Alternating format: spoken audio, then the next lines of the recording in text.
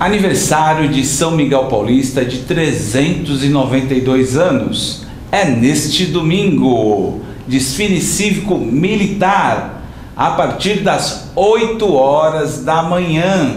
Traga toda a sua família. Avenida Marechal Tito, próximo ao Mercadão de São Miguel.